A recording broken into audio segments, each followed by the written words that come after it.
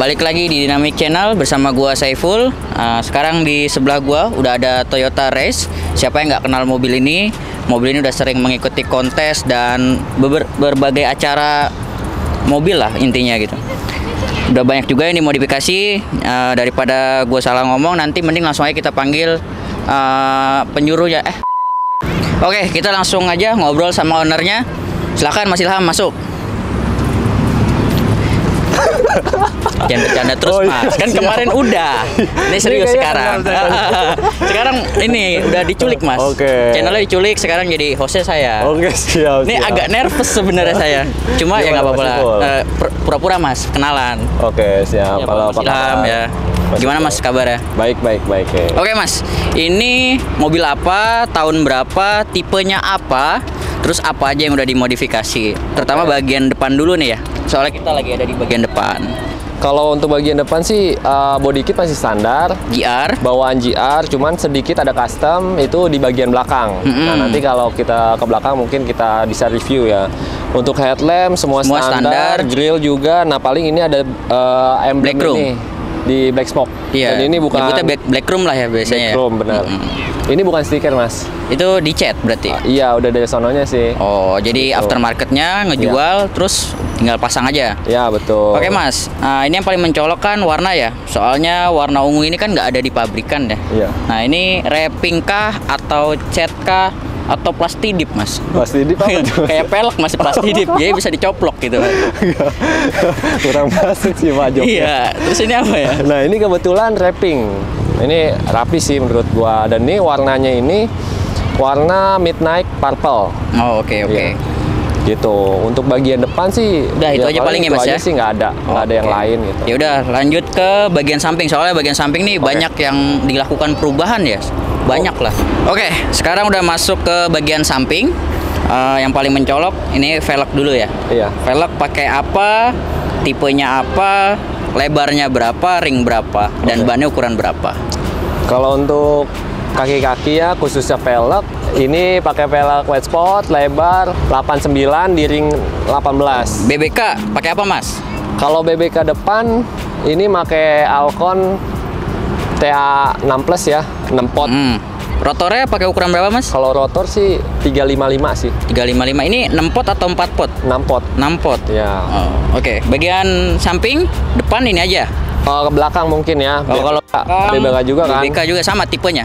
Sama masih Alcon tapi 4 pot. Jadi Oh, empat eh, pot. Alcon TA 4. Jadi kalau ini di kaca sengaja di branding begini ya Mas ya. Oh iya, kan Jadi- bawa nama bengkel. Oh iya, Wins jadi biar semua orang-orang tahu kalau ini bikinan winner. Iya, emang kebetulan kan produk-produk yang kita pakai juga kan uh, salah satunya juga yang kita jual juga di Wins Autopart ini gitu. Oke, siap siap.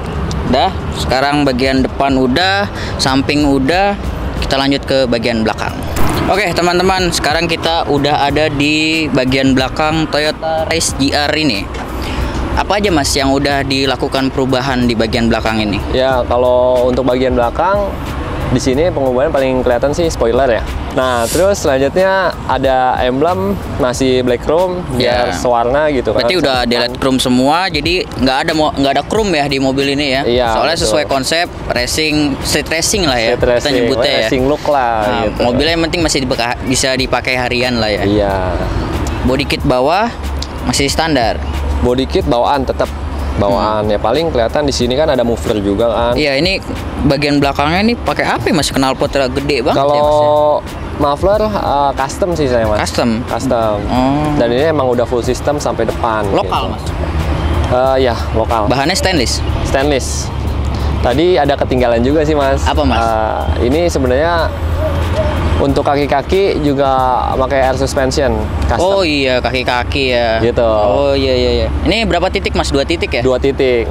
Oke oke, berarti lebih ke look saja lah ya. Fungsinya balik lagi. kalau buat track day atau enggak ya nggak dibikin gitu lah ya Iya, pokoknya. mungkin nextnya nanti mau dipasang apa ya. Oh. nggak tahu sih. Siap siap. Bagian bawah Oke. nggak ada lagi. Body kit standar ya berarti ya. Standar. Bagian interior udah ada yang diubah ya mas ya. Udah. Ah, jadi bagian interior Tapi nanti ah, kita bahas ke Iya. depan aja sekalian ya. Oke, sekalian oke. kita lihat dapur pacunya. Oke, siap mas. Ayo, let's go.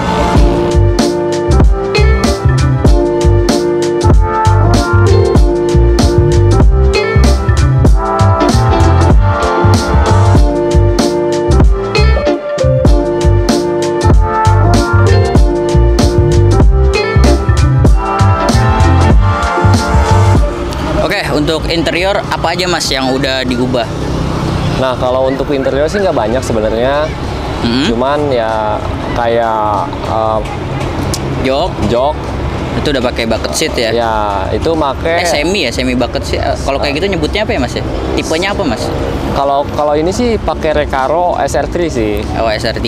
Iya, terus sama uh, mungkin indikator Grady ya, Sirius Grady itu buat indikator Itu ada turbo. apa aja mas? Turbo, terus udah itu aja. Kalau yang kita pakai sih untuk saat ini turbo. Pressure turbo aja berarti ya, Ya, buat betul. ngeliat barnya ya. Iya betul. Oke, bagian interior udah gitu aja ya mas ya? Ya paling sama uh, pedal shift aja udah itu buat Pedal aksesoris tambahan. Oh, yang aluminium itu yang ditempel ya? betul. Oke, sekarang kita lanjut ke dapur pacunya. Oke. Buka ya mas ya. Monggo mas. Oke mas, sekarang kita udah eh, di depan mobilnya. Ya. Di mesinnya ini cukup banyak yang dilakukan perubahan ya, terutama kayak bagian piping ada silikon hose-nya ya. Pakai apa Ya. itu ya mas ya? Kalau ini sih untuk Yang piping. biru-biru ini mas. Oh kalau ini. Hmm, Samco atau Kalau apa? ini pakai Samco. Oh, Samco. Samco. Terus kita pakai blow off juga. Terus sama ini Ini apa namanya? strut bar ya? Sudbar, sudbar. Apa ini mas? Kalau sudbar sih custom juga sih. Terus sama custom piping pakai Aluminium ya mas? aluminium. Terus stainless. dihitemin ya mas? Itu hiteminnya Ya. cat kah Ini atau cat powder coat? Ini Cat. sih cat sih. Sama apa namanya nih? Header? Header. Eh, downpipe Bukan, ya mas? downpipe ya? namanya. Oh, kalau ini downpipe, downpipe Nah. pakai apa mas? Kalau downpipe ini kita custom sendiri dan pakai brand sendiri juga. WAP. WAP uh, performance. Oke guys, uh, kita udah bahas semuanya, mulai dari depan, samping, belakang, interior, mesin. Uh, jadi gimana nih mas, buat para pengguna race yang pengen modifikasi, soalnya mobil mas ini cakep ya mas ya. Jadi gimana saran-sarannya gitu? Jadi apa aja yang harus dirubah gitu kan? Gimana mas? Ya kalau cakep sih selera ya, tapi Cakep balik lagi relatif ya, Mas. benar kayak cewek dong. Udah mas lanjut mas. Nah, sebenarnya eh, pengen ini aja sih, kayak part-part Rize ini kan sebenarnya masih langka ya untuk dimodifikasi. Nah, kebetulan Wins Auto Part ini kita menyendi- menyediakan kayak misalnya kayak downpipe tadi, terus kayak spoiler gitu dan eh, spare part spare part lainnya sih. Jadi kalau mau ini mau nanya-nanya langsung aja atau mau lihat produknya langsung Wins Auto Part langsung aja buka IG-nya Wins Auto Part Ada di bawah ini. ya pokoknya di situ kita juga jual BBK juga banyak untuk referensi teman-teman juga Mas Alvin kayaknya udah cukup lah ya Mas ya. Jadi pembahasannya juga udah sangat lengkap. Jadi thank you buat kalian yang udah nonton sampai akhir. Jangan lupa follow Dynamic Media dan stay tune terus di channel Dynamic Channel Iya bapak hostnya saya nggak bisa kayak gitu gitu pak. Oke bye bye.